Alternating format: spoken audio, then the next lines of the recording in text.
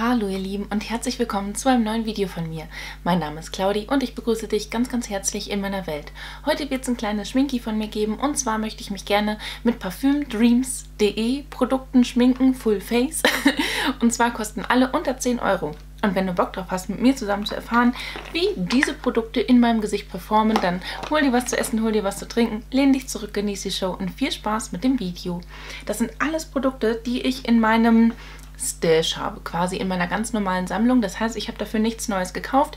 Ich bin einfach mal durch meine komplette Sammlung durchgegangen und habe geschaut, Mensch, was finde ich auf parfümdreams.de?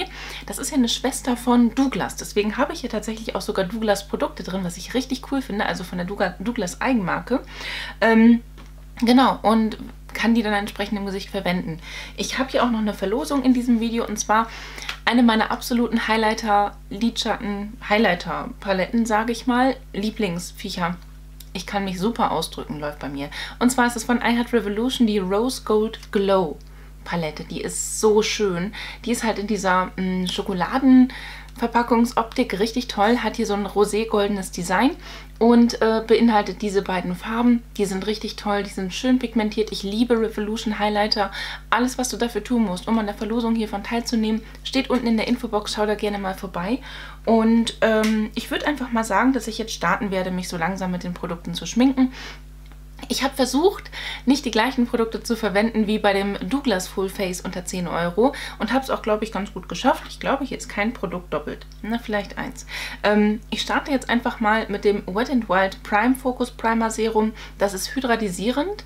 Das ist dieses hier und ähm, kommt in so einem Glasflakon, was ich sehr, sehr edel finde. Ich wollte es gerade schütteln, eigentlich muss man das nicht, aber ich tue es jetzt trotzdem mal. Da kann man den hier oben so zusammendrücken sodass sich das Produkt hier oben reingezogen wird und dann hast du es in der Pipette drin. Dann nehme ich mir das entsprechend auf die Finger. Also es ist wirklich super flüssig wie Wasser und es riecht angenehm und trage das auf mein Gesicht auf und es fühlt sich an, als würde ich mir einfach Wasser aufs Gesicht auftragen. Parfüm Dreams habe ich dadurch kennengelernt, dass ich äh, damals einen Adventskalender mir dort bestellt habe. Übrigens im Primer sind auch Schimmerpartikel mit drin. Wet n Wild Primer super eingezogen. Ähm, ich habe auch einen schönen Glow auf der Haut, was ich echt hübsch finde. Das gefällt mir. Und ähm, ja, feuchtigkeitsspendend auf jeden Fall. Ja, meine Haut fühlt sich aber noch ein bisschen durstig an, um ehrlich zu sein, auch wenn ich eben eine Feuchtigkeitspflege aufgegeben habe. Jetzt verwende ich von Catrice die HD Liquid Coverage Foundation. Äh, die soll mattieren, was nicht unbedingt mein Fall ist, ähm, sich aber wie eine zweite Haut anfühlen und ich habe die in der Farbe 020 Rose Beige. Auch die wieder in einem schönen Glasflakon. Dann haben wir hier auch wirklich eine sehr, sehr flüssige Konsistenz. Die wollte ich mir eigentlich auf den Beauty Blender direkt aufgeben und nicht auf meine Finger. Egal, dann trage ich mir jetzt die Foundation zunächst mit meinen Fingern auf. und arbeite sie dann mit meinem angefeuchteten Beauty-Schwämmchen einfach in die Haut ein. Auch die Produkte von Real Techniques findest du bei Parfüm Dreams. Ich finde es wirklich super interessant, ähm, was für eine Bandbreite doch unsere ganzen Online-Shops zu bieten haben, in denen wir eigentlich ständig bestellen, aber irgendwie, ja, dann immer wieder vergessen, was da sonst noch so ist. Ich finde es ganz cool. Irgendwie habe ich Bock auf ein bisschen mehr Deckkraft, deswegen gebe ich mir wieder was hier auf mein Schwämmchen auf und verteile das einfach mal in meinem Gesicht und den Hals runter, weil es doch etwas dunkler ist, als ich dachte. Die Deckkraft der Foundation ist tatsächlich mittel schon, also für meine Verhältnisse relativ stark sogar, weil ich ja eigentlich sehr leichte Foundations verwende. Ähm, die kommt sehr leicht aus ihrem Fläschchen hier raus und äh, deckt dann aber schon ordentlich ab. Also da ist ordentlich Pigment dahinter. Es kommt noch der ähm, Schein vom, oder der Glow vom Primer durch, was ich schön finde. Mm, die Foundation an sich mattiert aber wirklich ab. Das merke ich auch. Das kommt mit meiner trockenen Haut jetzt nicht so ganz so gut. Ja, man sieht richtig, dass ich Foundation im Gesicht habe. Aber gut, ich habe mir eine mattierende Foundation hier ausgesucht, dann wird die auch verwendet, die so, ne? Juti, ähm, als Concealer habe ich hier von Essence den Camouflage Plus Healthy Glow Concealer. Das ist dieser hier. Den habe ich in der Farbe 10 Light Ivory. Ich glaube, der könnte jetzt ein bisschen hell sein. Kommt hier mit so einem, jo, Füßchen, was in der Mitte so ein Löchlein hat und irgendwie so geschwungen wie so ein Blatt nach oben geht. Ja, bisschen hell. Hm. Nehme ich hier die andere Seite von dem Schwämmchen und arbeite mit dem Concealer ein. Damit sich Concealer und Foundation vertragen, muss man den Concealer richtig fest einpressen, was an der unteren Augenpartie nicht unbedingt die beste Idee ist. Ansonsten Ja, kommt es hier gerade nämlich zu kleinem Konkurrenzverhalten. Und zwar möchte der Concealer gerne die Foundation abtragen. Das ist uncool. Und das, obwohl die von Schwesterfirmen kommen. Das äh, Konkurrenzverhalten der beiden Produkte kann man, glaube ich, hier gerade ganz gut sehen. Holla die Waldfee, was ist da denn los? Uhuhuhuhu. Ja, nicht gut. Also ich habe im Schwämmchen auch nur ganz normal Wasser drin. Also jetzt nichts Besonderes oder so, aber die beiden Produkte sind keine Freunde. Deswegen belasse ich es auch dabei, dass ich das nur an der unteren Augenpartie mache, weil da geht die Party ja schon genug ab. Das brauche ich nicht auf dem ganzen Gesicht haben, ne? Hm. Dann bin ich sehr gespannt, was die dritte der drei Schwestern dazu sagen hat. Das ist von Love das Perfectitude Shine Control Loose Powder. Das kommt nämlich auf das komplette Gesicht. Denn Love, Catrice und Essence sind ja die drei Schwestern von Cosnova. Also bei Cosnova. Cosnova ist die Gruppe. Ne? Vertragt euch. Bisschen was auf dem Pinsel aufgenommen. Ich weiß nicht, ob ich einfach nur einen Bad Make-up Day habe oder ob die drei Produkte einfach nicht zusammen funktionieren. Hier habe ich den Concealer umgesettet, hier habe ich ihn gesettet und ich finde, dass man hier auch vom Puder so Punkte sieht und das sieht definitiv nicht nach einem Healthy Glow aus, nach irgendwas Hübschem oder nach Strahlkraft der Augen. Oh, wird interessant heute. Okay, ich sehe aus, als hätte ich Ewigkeiten kein Wasser mehr getrunken. Mm, also sehr, sehr stark alles abmattiert. Aber hey, das hier ist ja auch ein Shine Control Loose Powder. Was habe ich erwartet? Ähm, ist okay. Also das Hautgefühl ist sehr trocken. Ich freue mich aufs Fixing Spray, wenn ich es nachher drauf mache. Vielleicht mache ich das gleich auch schon direkt drauf, weil ähm, meine Haut gerade echt nach Feuchtigkeit schreit und überall habe ich Trockenheitsfältchen. Also meine Haut sieht definitiv nicht aus wie von einer 30-, 31-Jährigen es ist schon krass. Deswegen mache ich jetzt mal kurz ein bisschen äh, Fixing Spray drauf, einfach um eine Erfrischung zwischendurch zu haben. Da habe ich von Essence High Beauty Mattifying. Mattifying. Habe ich gut ausgesucht, oder? Make-up Fixing Mist. Ach, Mist. Mist, Leute, ja. Mist. uh. Ja, das ist, äh, nennt man auch ein Fail, ne? Aber ich mache es trotzdem drauf. Ich will irgendwie ein bisschen Feuchtigkeit im Gesicht. Da kommt Feuchtigkeit raus. Ja, ja. Hauptsache ein bisschen was, ne? Ach, komm. Wie unüberlegt von mir. Ja gut, ne? Das macht jetzt nicht einen ganz mattierenden Effekt, es gibt aber schon Feuchtigkeit. Also meine Haut fühlt sich jetzt deutlich gesünder und besser an. Ähm, ich mache mir jetzt die Augenbrauen tatsächlich, bevor ich jetzt Puder und so weiter drauf mache, glaube ich, oder? Wir, wir trauen uns mal jetzt den Bronzer aufzutragen. Okay, dann machen wir das jetzt halt erst. Und zwar habe ich hier von Miss Lynn, ja, auch das kann man bei Parfüm Dreams kaufen, finde ich richtig geil, äh, Barbados Bay Beach Please Bronzing and Contouring Powder. Das ist dieser hier. Das sind immer so niedliche Bücher, finde ich. Und äh, jo, das Produkt schaut so aus. Hat sogar einen kleinen Minispiegel mit drin, ne? Schon cool. Und dann nehme ich mir jetzt so einen großen fluffigen Pinsel nicht gegenpusten. Und trage das auf mein Gesicht auf, um einfach mal mein Gesicht etwas aufzuwärmen. Und da muss ich sagen, das ist ein Bronzer, der mir auch gut gefällt, der mir von der Farbe her gefällt und ähm, ne, von der Pigmentierung her gefällt. Kannst du schön aufbauen, kannst du aber auch schon im ersten Schritt, sag ich mal, theoretisch kann man das so lassen, eigentlich. Aber nein, nicht bei mir. denn ich mag Bronzer richtig, richtig gerne, weil das einfach ein Produkt ist, was meinem Gesicht Leben verleiht, was es dann vorher einfach nicht hatte, weil ich bin ja einfach sehr weiß und ähm, das verleiht mir dann auf eine sehr freundliche und recht natürliche Art und Weise ein bisschen Bräune. Das ist voll gut. So würde ich es jetzt tatsächlich gerne lassen. Ähm, jo, ich mag den Bronzer von der Farbe richtig gerne. Der passt bei mir auch gut, finde ich. Der ist nicht zu rot, der ist nicht zu aschig. Also ich finde, das ist so ein komplett perfektes Mittelmaß. Also halt ähnlich wie viele andere Bronzer, die ich auch habe, ist der, also ja, tatsächlich sehr, sehr ähnlich in der Farbgebung, aber halt ein günstiges Produkt, was man halt auch auf Parfüm Dreams bestellen kann, wenn man möchte. Als Blush habe ich ein äh, Sante Multi-Effekt Beauty Blush und das ist dieser hier in der Farbe 02 Cranberry.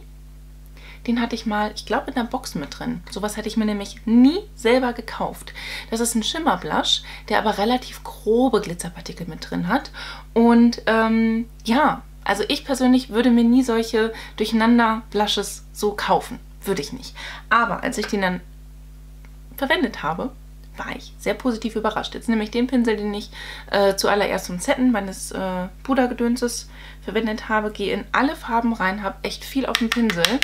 Das klopfe ich ab und gebe mir den vorsichtig auf. Vorsichtig tatsächlich, weil der schon recht stark pigmentiert ist. Da muss man wirklich aufpassen. Aber der hat so einen schönen, ja, ich weiß nicht, leicht Rosenholzton, wenn man die halt so in Kombi verwendet.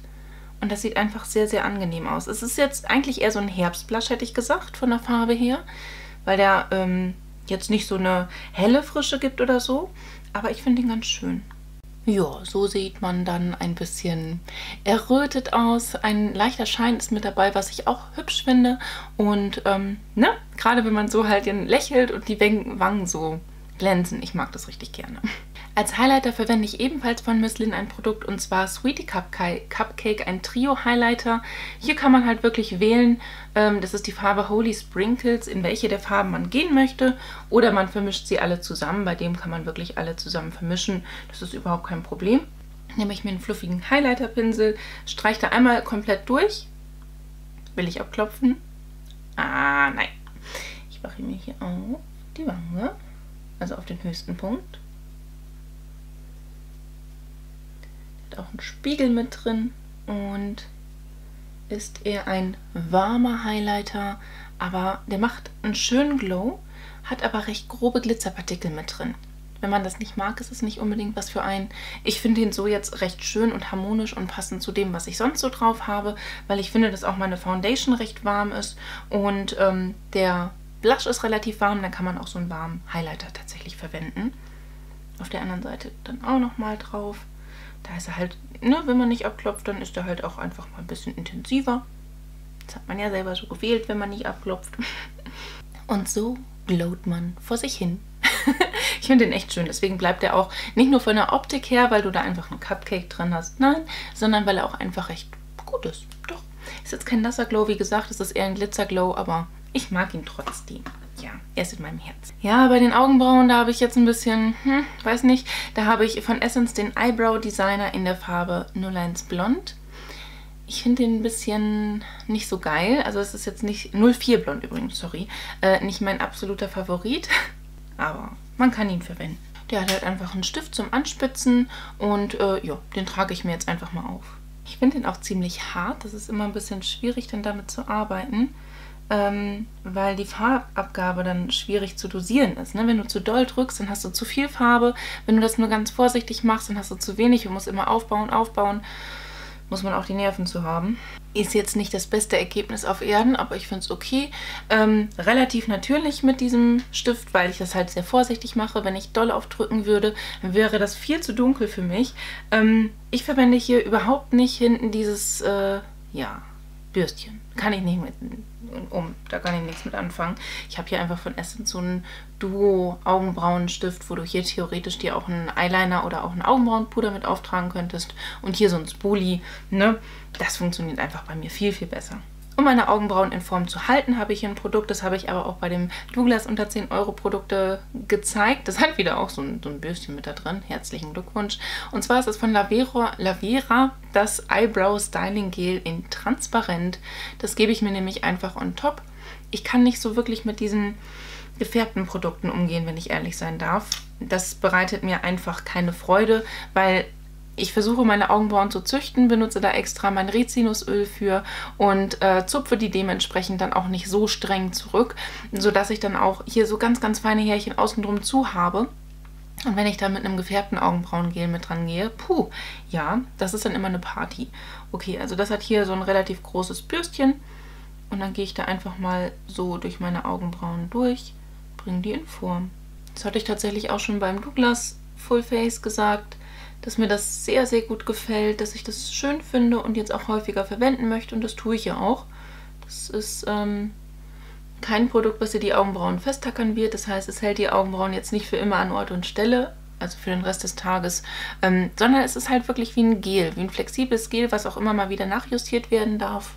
Wir stehen kurz davor, den Lidschattenlook zu schminken. Da nehme ich jetzt erstmal eine Eye Foundation, also einen Lidschattenprimer. Das ist von Catrice äh, die Eye Foundation in Waterproof und Matt. Das ist dieses Produkt hier, kommt in so einer kleinen Tube. Hat hier so ein kleines Füßchen. Und dann gebe ich mir auf beide Augen einfach ein bisschen was drauf und arbeite es dann ganz einfach mit den Fingern ein. Macht jetzt nicht so ultra viel auf dem Auge, finde ich. Also da gibt es durchaus Lidschattenprimer, auch zum Beispiel von Essence, der You Better Work. Den finde ich deutlich besser.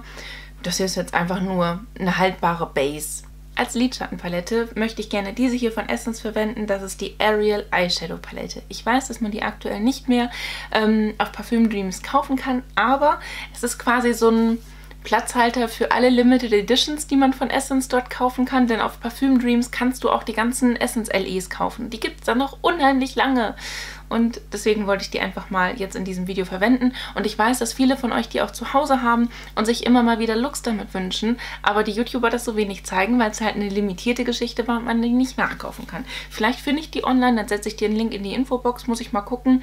Ähm, genau, und das ist halt so eine richtig geile, bunte Palette. Deswegen habe ich mich heute auch grün angezogen. Das ist übrigens ein Asbach uraltes Oberteil von ähm, H&M. Ich glaube 2012 habe ich das gekauft. Also acht Jahre ist es schon alt. Ich lieb's. Ne? Das ist halt wirklich Asbach uralt. So, hier haben wir aber keinen Ton zum Setten drin.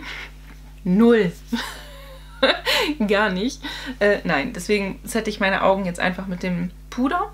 Mache das einfach hier so recht grob motorisch drauf. Aber vorher gut abklopfen, weil ansonsten hast du Fallout vom Puder und das ist uncool. Starten möchte ich tatsächlich mit diesem dunklen Grün. Gut abklopfen. Das setze ich mir auf mein komplettes bewegliches Lid. Ich lasse aber hier noch ein bisschen frei und innen ebenfalls. Dieses wunderschöne Azurblau setze ich mir nach außen. Das ist deutlich softer pigmentiert als das Grün. Das sieht schon mal recht spannend aus, oder? es wird, es wird, es wird noch. Ich habe eine Idee im Kopf. Ich habe das noch nie geschminkt, aber wir versuchen das mal zusammen. Diesen gelben Ton, Achtung, ganz viel Kickback in der Palette. Uh, unheimlich viel Kickback. Gebe ich mir ins innere Drittel. Die Farben werden jetzt gut miteinander harmonieren, weil Grün besteht laut Farbpalette aus Gelb und Blau. Das heißt, das ist eine Bank. Ne? Das ist safe, was ich hier auf den Augen habe. Da mache ich jetzt nicht aus Versehen irgendeine Farbe, die ich gar nicht haben wollte. Das ist schon schlau, ne? Das Gelb ist okay pigmentiert, muss ich wirklich sagen. Ist aber jetzt nicht so ultra kabuff-kabell. Ne? Das ist jetzt einfach nur so ein simples Gelb, was dann einfach da ist ziehe die Farben dann auch immer noch so ein bisschen, sowohl das Blau habe ich dann noch oben auch in der Lidfalte mit reingezogen, als auch jetzt das Gelb, damit sich das alles auch schön miteinander verbindet. Ja, soll ja harmonisch irgendwann mal werden auf meinen Augen. Schreibt mir übrigens gerne in die Kommentare, wenn ihr irgendwie noch eine Idee habt, welchen Online-Shop ich sonst noch so testen soll und schauen soll, ob ich da ein Fullface unter 10 Euro rausbekomme, sage ich mal. Ähm, ja, würde mich total interessieren oder welchen Shop ich allgemein mal testen soll. Kommentare sind frei und offen für sowas. Blendepinsel ohne irgendein Produkt und blenden. Nee, das geht nicht, ne? Das ist jetzt die verblendete Seite, das ist die unverblendete Seite. Ich finde, dass dann einfach viel zu viel von dem Schlupflied verschluckt wird, was ich so habe. Das ist schade. Das ist richtig, richtig schade. Ja gut, dann machen wir das mit einer Farbe. Und zwar nämlich das Gelb. Zack. Haut mich jetzt nicht von der Socken, aber es geht. Denn sobald man mit dem Blendepinsel über die Farben geht, verschwinden sie recht schnell. Sagen Ciao. Sprich für eine hohe und gute Verblendbarkeit, aber mh, mm, ja, nicht unbedingt für eine gute Haltbarkeit. Dieses mega schöne Türkis nehme ich mit dem Finger auf. Yay! Und setze es über das Grün als Topper. Ziehe das natürlich auch ein bisschen höher aufgrund von Cut, äh, hier Schlupflied und so. Ja, es macht einen zarten Schimmer, aber nicht unbedingt das, was ich jetzt von dem erwartet hätte. Ich baue es auf. Das mag ich. Ja, safe mag ich das. Diesen Silberton setze ich mir in den Innenwinkel und ziehe das auch über das Gelb drüber. Sehr, sehr foliert, deswegen schwierig. Ich versuche es mit dem kleinen Finger mal. schwierig, den aufs Auge zu bekommen. Tatsächlich. Es geht nicht so leicht. Und das ist halt eher grober Glitzer und weniger halt, ja, aber das sieht ein bisschen aus wie das Meeresglitzern. Das ist okay. Das kannst jetzt nicht unbedingt als äh, Augenbrauen-Highlight verwenden, wollte ich damit sagen. Aber gut, passt schon. Ja. ja. Da ist jetzt ein bisschen Glitzer von runter geflogen und setzt sich recht hartnäckig dann auf der Foundation fest. Aber es geht, ja. Aus der Highlighter-Geschichte nehme ich mir jetzt hier dieses Gelb mal, weil ich in der anderen Palette einfach viel zu viele Schimmertöne drin habe und setze mir den als Augenbrauen-Highlight. Weil das ist etwas, was mir halt auch einfach in der Palette fehlt, ne? So ein Ton, um zu highlighten, um, keine Ahnung, den Look zu komplettieren. Da hast du viele Töne, die Topper sind drin, was schön ist, ne? Das sind schöne Topper. Aber du hast halt nicht diesen feinen Glow, diese Schimmergeschichte oder Scheingeschichte. Das ist mir dann einfach zu hart. Für die Augenbraue wäre mir das zu glitzerig, das möchte ich nicht. Für den Innenwinkel geht es mal, ne? Das ist mal irgendwie was anderes, aber für die Augenbraue, nee, das muss dann schon eher so ein sowas sein. Genau. So, unterer Wimpernkranz, da würde ich jetzt einfach das Lila hier nehmen. Das matte Lila, ne?